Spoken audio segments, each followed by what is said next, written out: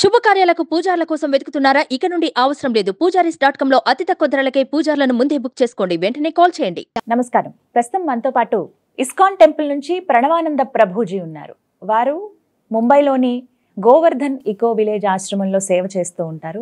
ప్రత్యేకంగా శ్రీకృష్ణ భగవాన్ గురించి ఆయన లీలల గురించి ఆయన మహత్యం గురించి ప్రవచనాలు ఇస్తూ ఉంటారు వివిధ మాధ్యమాల్లో. వారు ప్రస్తుతం సుమన్ టీవీలో ఉన్నారు. వారితో మాట్లాడదాం.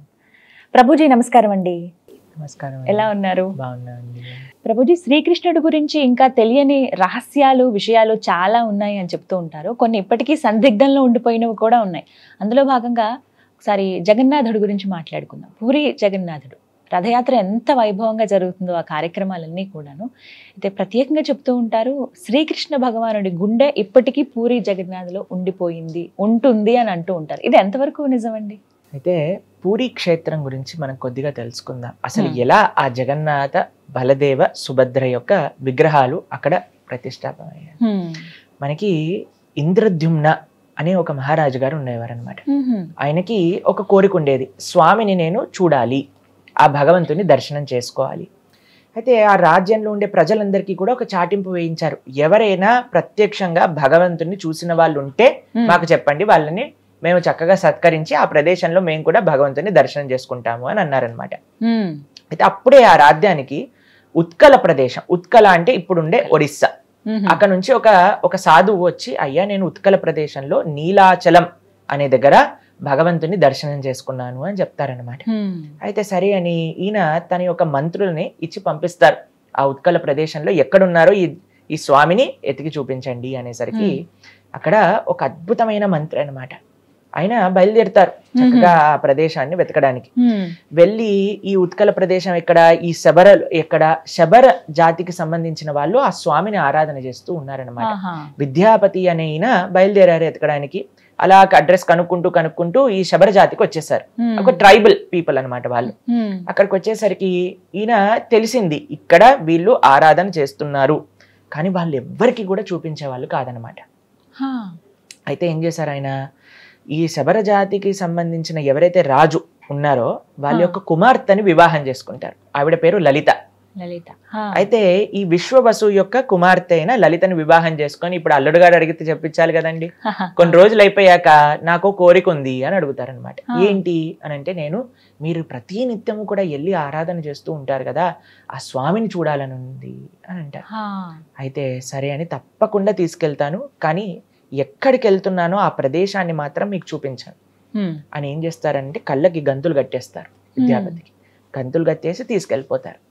అయితే ఈయన ఏం చేస్తాడంటే చాలా తెలివిగా ఒక ఆవాలు ఒక చిన్న సంచిలో కట్టుకొని దానికి చిన్న హోల్ పెడతారనమాట పెట్టేసరికి ఆ ఆవాలు ఇలా సంచిలో ఇలా నడుముకి పెట్టుకుంటారు. ఒక్కొక్క ఆవాలు ఇలా పడిపోతూ పడిపోతూ ఉన్నాయన్నమాట వాళ్ళ అంతా అంతా. కూడా.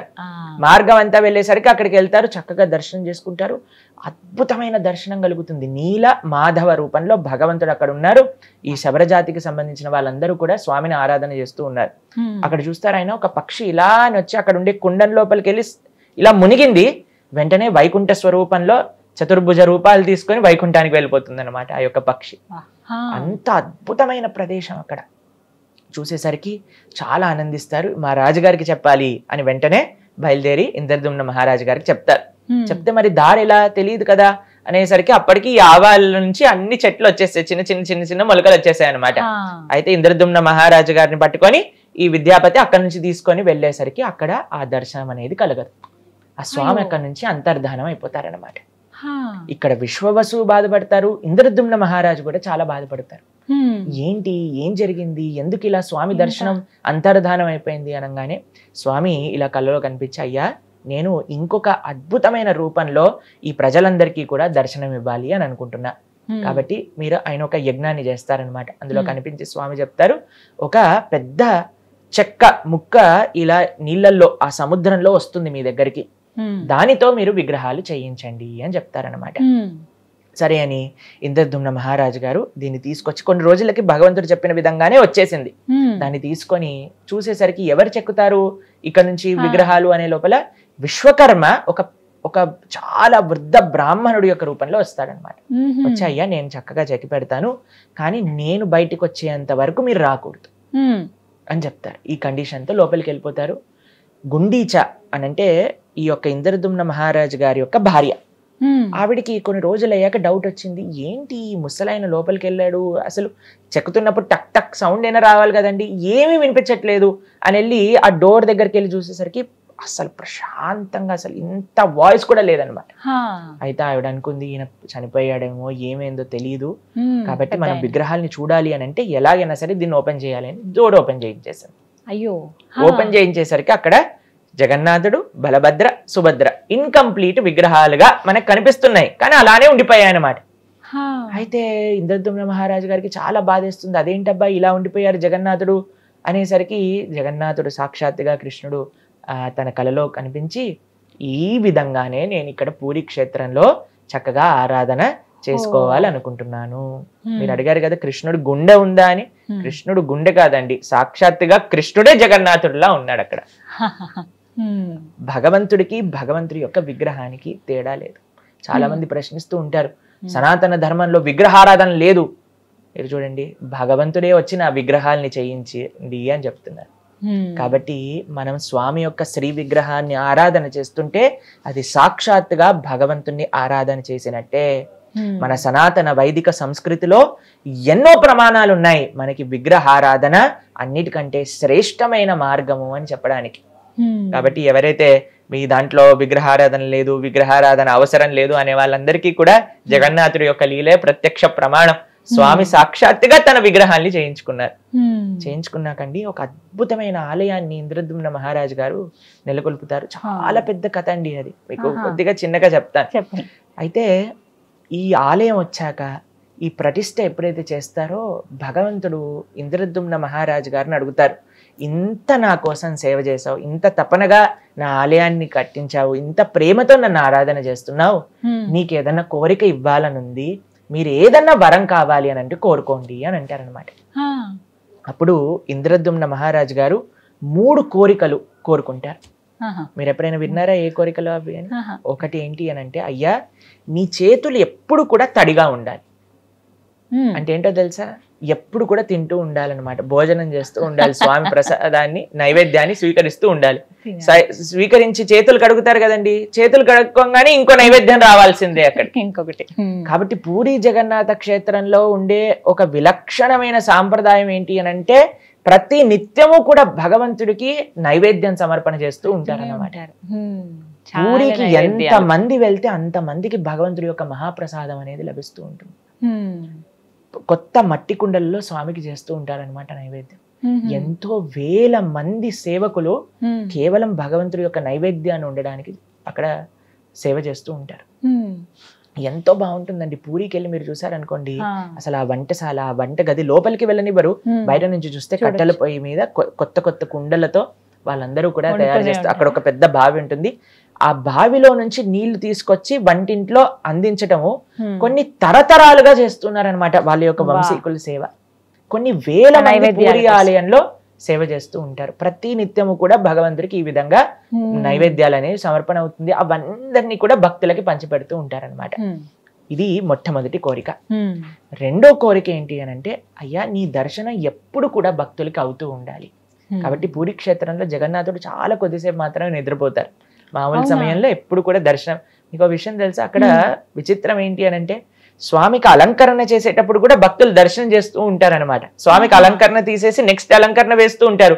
అయినా సరే భక్తులు దర్శనం చేసుకుంటూ? ఉంటారు జనరల్గా ఆలయంలో మనం చూసాం అనుకోండి అలంకరణ అయిపోయాక కట్టెన్లు తీసి దర్శనం ఉంటుంది అవును కానీ పూరిలో ప్రతి నిత్యము దర్శనమే అన్నమాట హ్మ్. మూడో కోరిక ఏంటో తెలుసా అండి హ్మ్. నాకు ఎప్పుడు కూడా పిల్లలు పుట్టకూడదు. అయితే ఎందుకు? ఇంద్రదుమ్న మహారాజు గారు ఇలా అన్నారు అని అంటే ఇప్పుడు నాకు పిల్లవాడు పుట్టాడు అనుకోండి వాడు అంటాడు ఇది మా నాన్న కట్టించిన గుడి వాళ్ళ. పిల్లవాడు అంటాడు మా తాత కట్టించిన గుడి దీనికి నేను అర్హుణ్ణి నాకు స్పెషల్ దర్శనాలు కావాలి నేను చెప్పింది జరగాలి. అయ్యా ఇది నీ గుడి నీ భక్తుల గుడి.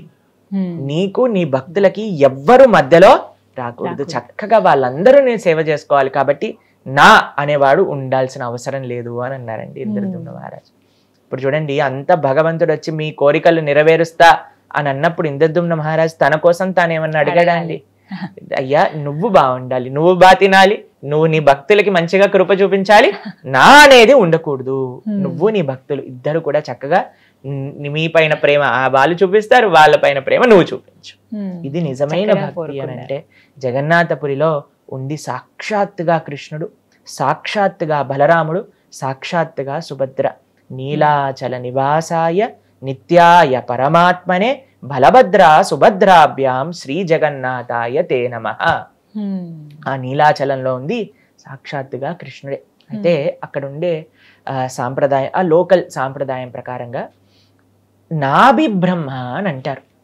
అది ఏంటో తత్వం ఇంకా అంత ఎవ్వరికి కూడా తెలియదు అదొక రహస్యం.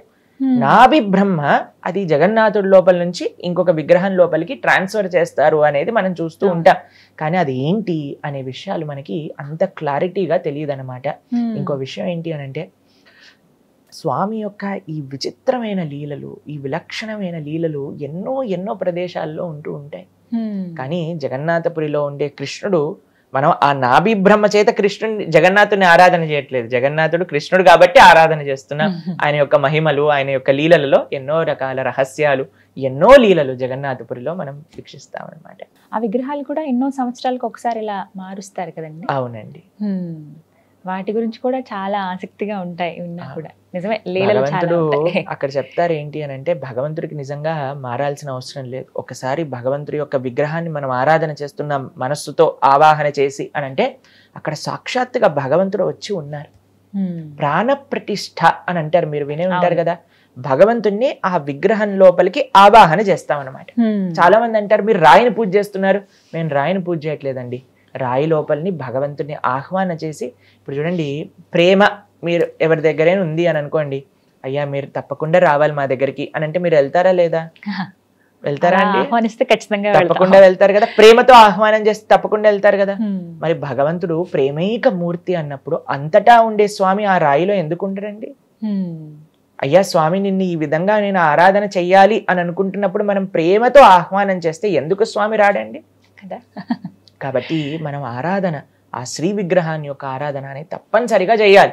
అందులో భగవంతుడు సాక్షాత్తుగా ఉన్నాడు. హ్మ్. కాబట్టి ఆ స్వామిని అక్కడ చూస్తే నవకలేవరం అనే ఒక ఉత్సవం చేత. ఎప్పుడైతే అధిక ఆషాఢ మాసం వస్తుందో అప్పుడు మారుస్తారనమాట విగ్రహాల్ని.